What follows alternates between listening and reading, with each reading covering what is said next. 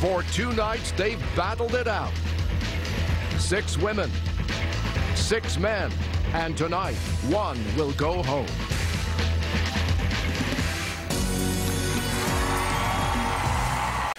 Now, Len, oh Len, two nights, great dancing. This is the point in our results show where we turn to you guys and find out which one you want to see again. Well, you know, all of us judges felt that this was without doubt the best start to any season. The standard was amazing. Not only the dancing, we saw absolute classic ballroom and Latin dancing, but there was some great entertainment. And for us, the couple that combined the both elements, the classic dancing plus great entertainment, possibly the best cha-cha-cha we've ever seen was Sabrina and Mark, and we'd love to see that again. All right, with their cha-cha-cha, here are Sabrina and Mark. Dancing the cha-cha-cha. Sabrina Bryan and her partner, Mark Ballas.